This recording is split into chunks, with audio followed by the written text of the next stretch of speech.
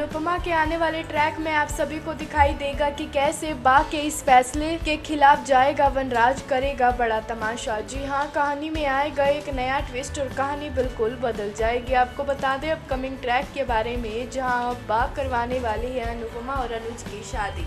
तो वही ये सब देखकर वनराज हो जाएगा, आग बबूल पापा निकाल देगा अपना सारा गुस्सा। अब देखना दिलचस्प होगा कि क्या वनराज इन दोनों की शादी होने देगा। क्या होगा आगे शो की कहानी में, हम आपको जल्दी बताएँगे अपनी नेक्स्ट अपडेट में। तो तब तक करें इंतज़ार और बने रहिए हमारे साथ और आज ही हमारे चैनल को सब्सक्राइब करें।